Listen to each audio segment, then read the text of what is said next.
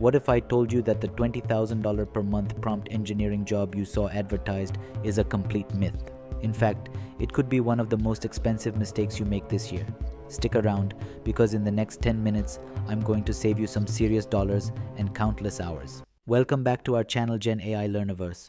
If you've been following our 50 plus Gen AI project series, you know we've been building real world AI applications. But today, we're taking a detour to discuss something crucial prompt engineering, and more importantly, the truth about it. In this video, we're going to cut through the hype and give you the real scoop on prompt engineering, show you what prompt engineering really is, and give you the foundational knowledge you need to start using this skill effectively. Whether you're looking to enhance your current job, start a new career, or just understand AI better, this video is your first step toward genuine expertise in prompt engineering.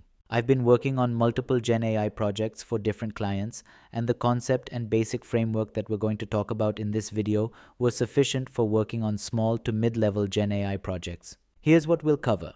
What is prompt engineering? Myth versus truth in prompt engineering, key components of prompt engineering, types of prompting techniques, a framework for structuring your prompts, I'll also share a useful tip that applies to any prompt to help you get better results. And finally, I'll provide some resources for learning prompt engineering. Let's start with what prompt engineering really is. Prompt engineering is the art and science of crafting effective inputs for AI models like ChatGPT or Claude to get the best possible outputs. Think of it like learning how to ask the right questions to get the most insightful answers. The quality of the response you get depends on how clearly you ask your question. This is the essence of prompt engineering being precise, clear, and thoughtful in how you interact with AI. If I would like to simplify it further, think about Google search. The better the search string, the better the result you will get.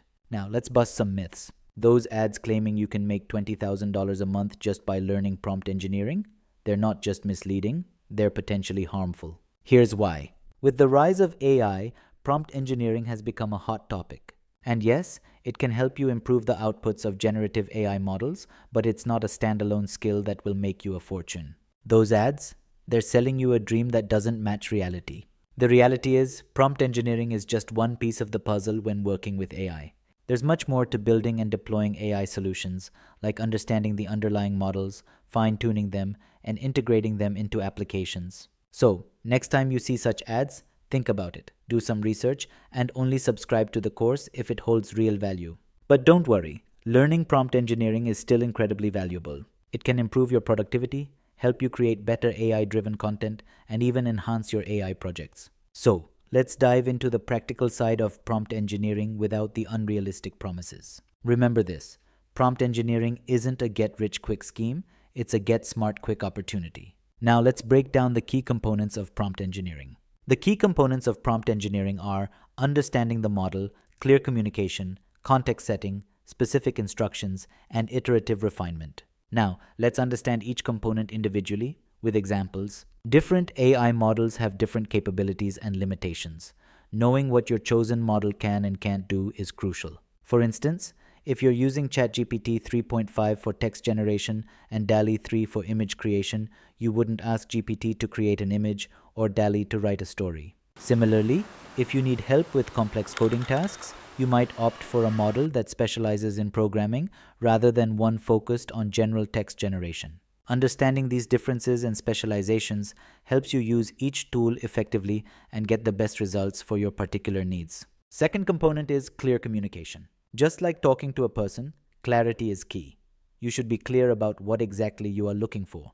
Ambiguous prompts lead to ambiguous results. For example, instead of using give me some marketing ideas, better to use provide three social media post ideas for Instagram to promote a new line of eco friendly reusable water bottles targeting health conscious millennials. Similarly, instead of using create a character, better to use describe a 30 year old female detective from New York City, including her physical appearance, personality traits, and a unique quirk that sets her apart from other detectives. As you can see in these examples, I am trying to be specific and clear in my communication based on my needs. Third component is context setting. Providing relevant background information helps the AI understand the scope and intent of your request. Let's take a look at a couple of examples with and without context. In the first request, the AI has almost no information to work with. It might generate a generic email about any topic to any recipient for any purpose. The result would likely be vague and not useful for any specific situation. However, in the second request, the AI has detailed context. It knows the purpose of the email, which is offering services and proposing a meeting, the recipient, which is a potential client in the tech industry, the sender's role, the specific service needed, which is a modern, sleek logo for an app, and the desired tone, in this case a friendly yet professional tone. Similarly, in the second example, the first request might result in a generic green logo.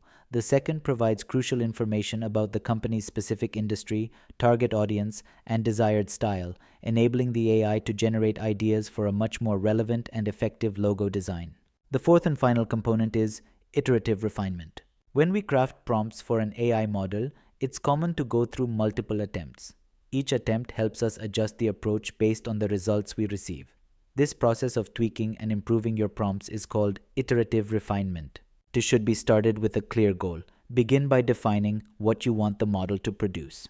For example, do you want the AI to generate a summary, create a story, or answer a question? Once you have a clear goal, write your first version of the prompt.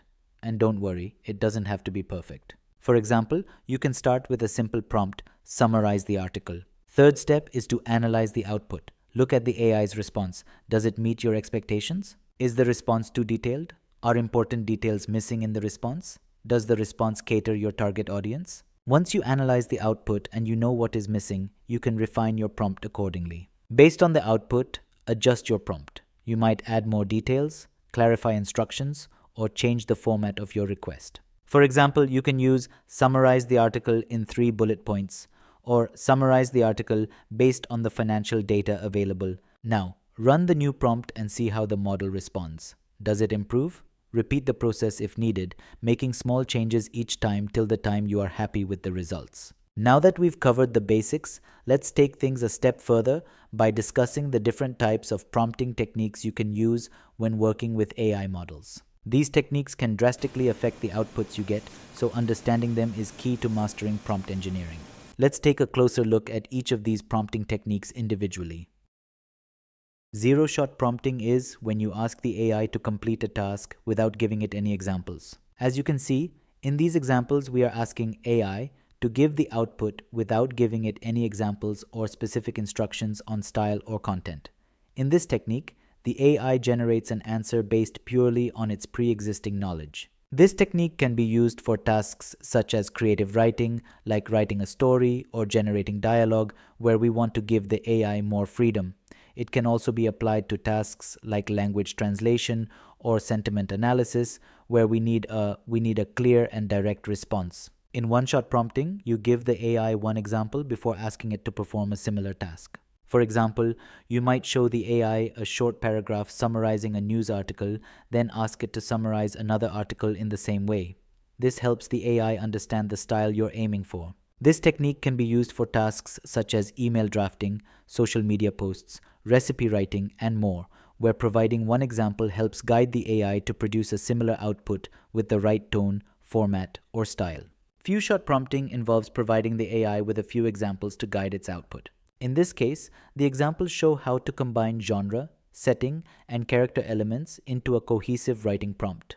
The model can then use this pattern to generate a new prompt with the given elements. Few shot prompting is useful when you want your model to follow a specific style, format, or tone, or when you're looking for consistent outputs.